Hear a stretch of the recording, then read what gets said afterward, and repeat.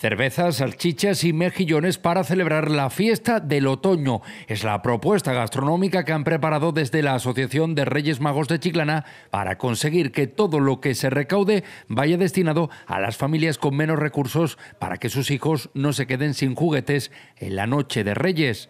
La cita se va a desarrollar la próxima semana en la Plaza de las Bodegas. Concretamente, dará comienzo en la tarde del viernes y finalizará en la tarde del sábado. Este evento estaba previsto que se desarrollara este fin de semana, pero debido a las previsiones de lluvia, la organización ha decidido aplazarlo para los días 11 y 12 de noviembre por un euro, mm, aparte de tomarse una cerveza, beber un vino, comer o un plato, una, tapa, eh, no es simplemente el tomarte la tapa, sino es la colaboración que hace con la campaña Ningún Niño Sin Juguete. ¿no?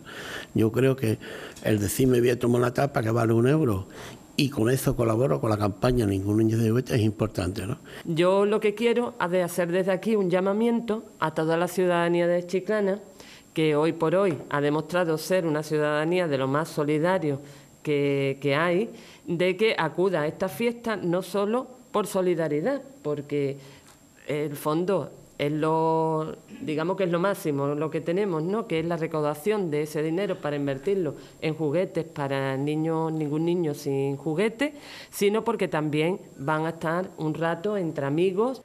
Será el viernes cuando arrancará a las 6 de la tarde con la actuación de varios grupos colaboradores y con la fiesta de la cerveza y de la salchicha de Frankfurt. En cuanto al sábado, la fiesta empezará a las 12 de la mañana y también contará con una degustación de platos típicos de Chiclana y una gran mejillonada.